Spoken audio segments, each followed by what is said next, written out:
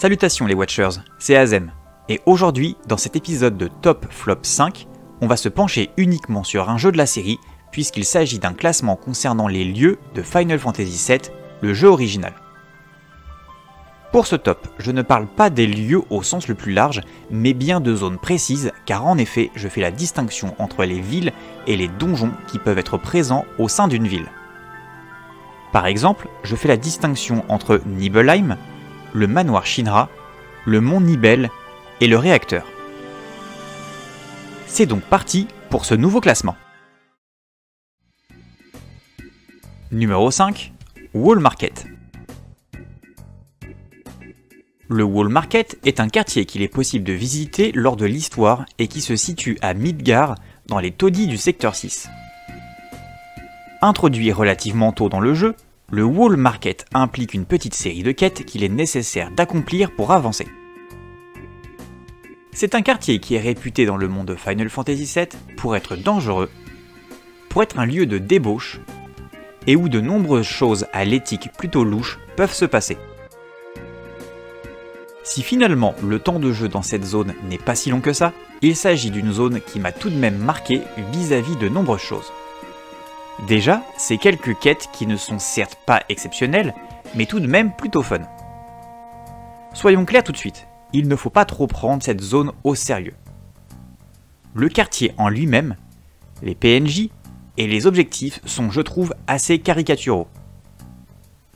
Mais je ne vois pas ça d'un mauvais œil, bien au contraire. Je pense que c'est justement la force de cette zone. Déjà, elle a une ambiance bien définie qui fait que l'on comprend immédiatement où l'on a mis les pieds.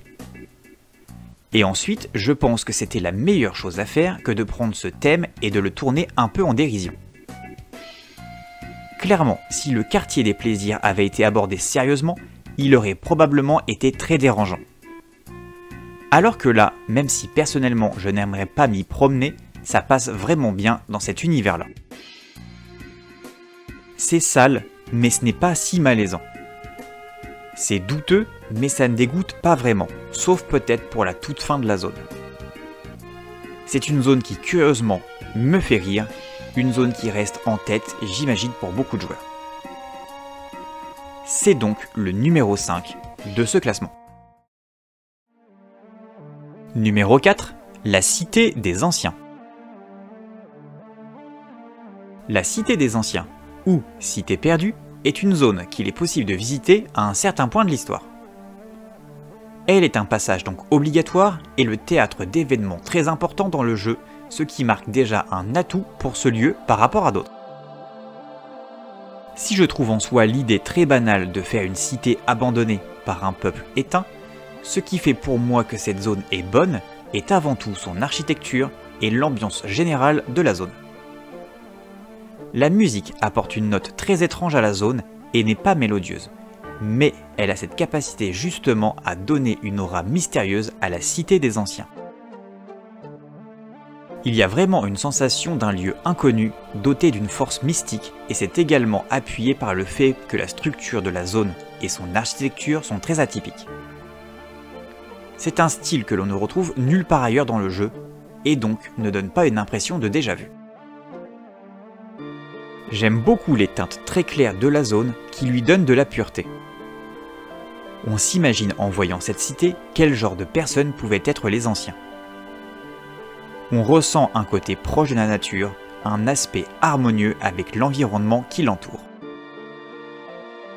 Je trouve que c'est un lieu qui parvient à raconter des choses subtilement et habilement, qui parvient à amener un questionnement et ça, c'est pour moi un critère suffisant pour avoir la quatrième place de ce top. Numéro 3, Cosmo Canyon. Cosmo Canyon est une zone de jeu qui, une fois encore, se trouve sur la route du joueur durant l'histoire. Elle est donc un passage obligatoire et très important pour la compréhension de certains éléments importants du lore de Final Fantasy VII. Il s'agit d'un village construit astucieusement contre une paroi rocheuse avec des maisons troglodytes qui donnent un aspect vraiment particulier à cette zone. Si je devais décrire Cosmo Canyon sans trop prendre de pincettes, je dirais que c'est le village des amoureux de la planète. Si vous êtes écolo dans l'âme et que vous vivez dans le monde de Final Fantasy VII, alors c'est l'endroit qui vous est indispensable pour vivre votre amour avec Mère Nature. Cosmo Canyon frappe déjà très fort avec un thème musical vraiment très bon qui restera, que vous l'aimiez ou non, dans votre tête. Vous pouvez être sûr que si j'entends le thème de Cosmo Canyon à peine quelques minutes plus tard, je l'aurai en tête. Comme la plupart du temps dans la série, la musique se marie à merveille avec la zone qui lui est associée et appuie l'ambiance qui se dégage de ce village. Ensuite, j'aime beaucoup les teintes très chaudes de la zone, contrairement par exemple à la quatrième place précédemment présentée. Le lieu paraît vivant, il paraît accueillant. J'ai l'impression que Cosmo Canyon, c'est un peu la version moderne de la cité perdue. Il y a toujours ce côté paisible, cette impression de ne faire qu'un avec la nature. Et puis quand je vois ces petites maisons dans la roche, j'ai envie de rentrer dedans et d'explorer les moindres recoins. Quand je vois le Cosmo Canyon, j'ai envie de me poser autour du feu avec mes compagnons de voyage et de discuter de tout et de rien. De suspendre le temps et d'admirer le paysage qui m'entoure. Et ça, ça mérite bien la troisième place de ce classement. Numéro 2, Junon.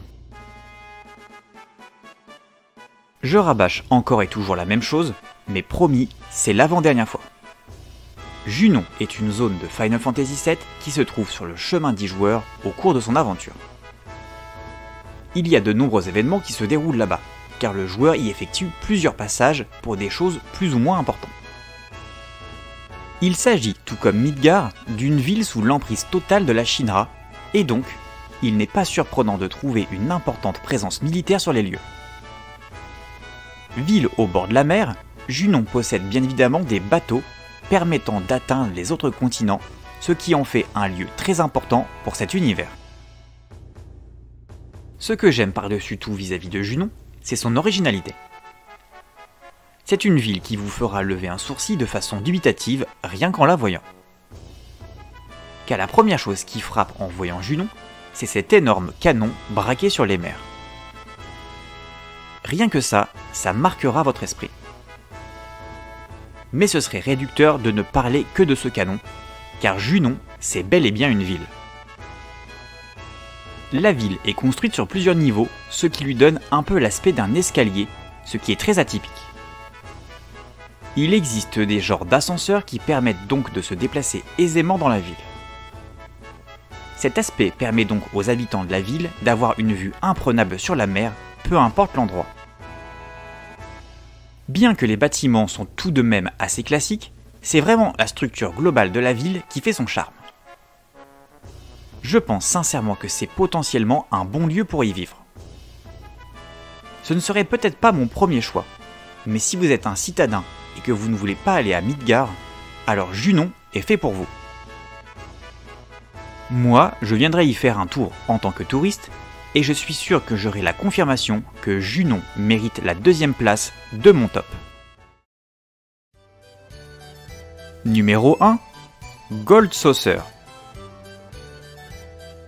Le Gold Saucer est bien évidemment une zone que vous visiterez durant l'histoire de FF7, ce qui fait qu'il n'y a eu aucune zone optionnelle dans ce classement.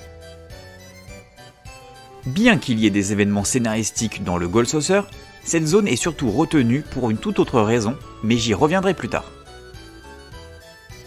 Le Gold Saucer est ce qui se rapproche le plus de ce que l'on connaît dans notre monde comme les parcs d'attractions. Donc oui, en gros, le Gold Saucer, c'est un peu comme le parc de Paris que vous connaissez tous. Et donc, comme dans un vrai parc, le principe de cette zone, c'est bien de jouer. Le Goal Saucer, c'est la zone qui vous permet de jouer à de très nombreux mini-jeux et donc de vous détendre après un rude combat contre un boss. Le Gold Saucer, c'est le lieu dans lequel vous allez quand vous ne voulez pas avancer dans votre aventure. Et c'est cool d'avoir ce genre de bouffée d'air. En dehors de l'aspect mini-jeu, je trouve l'esthétique vraiment très intéressante. Plutôt que de faire un parc sur du plat, La structure tentaculaire ressemble à un genre d'arbre où chaque branche supporte un plateau représentant une des nombreuses zones de jeu du parc. Le Gold Saucer détonne donc de par son apparence, et vous le remarquerez facilement sur la World Map. Il a ce design qui attire l'œil, et je pense que beaucoup, en voyant cette structure, ne pourraient s'empêcher de se dire je vais aller voir ça. Un petit mot tout de même concernant le thème du Gold Saucer, qui est peut-être l'un des thèmes les plus reconnaissables de la série selon moi. Il est entraînant et donne vraiment cette impression de fête. Alors je ne sais pas vous, mais moi, même si je ne suis pas un grand fan de manège, ce serait avec plaisir que je souhaiterais aller dans la salle d'arcade du Gold Saucer, aller voir un spectacle, aller dormir à l'hôtel et même essayer les activités du lieu. C'est pour moi l'une des zones les plus mémorables de la saga et c'est donc évidemment la zone numéro 1 de mon top 5 des zones de Final Fantasy VII.